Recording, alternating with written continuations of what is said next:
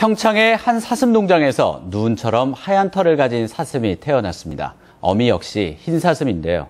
두 마리 모두 월드컵 축구와 인연이 깊다고 합니다. 조성식 기자입니다. 우리 안을 뛰어다니는 사슴 무리 속에 두 마리 사슴이 유난히 눈에 띕니다. 하얀 털과 붉은 눈의 어미와 새끼, 한라산 백록담의 백록, 즉 흰사슴입니다. 태어난 지 하루 된 새끼 흰사슴은 가는 다리로 서서 어미를 찾아 울부짖습니다.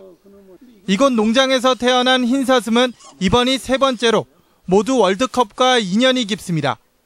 어미와 지난해 죽은 수컷 흰사슴은 2002년 월드컵 당시 우리 대표팀의 8강과 4강 경기가 열리는 날에 각각 태어났습니다. 꼭 월드컵 트로피처럼 그렇게 생겼어요. 그래서 그 양쪽 다 140냥 정도. 여느 사슴의 그러니까 세목이죠. 12년 만에 나온 새끼 흰사슴도 한국과 러시아전이 열리는 순간을 택했습니다.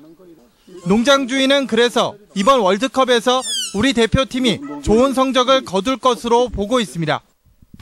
안 알리려다가 아이고 나 좋은 나라의 길조가 있을 것 같아서 이제 알린 거래요. 10만 마리 가운데 한 마리꼴로 태어나 영물로 불리는 백록이 우리 대표팀에게 행운을 가져다 줄지 기대됩니다. 수명이 45년. MBC 뉴스 조성식입니다.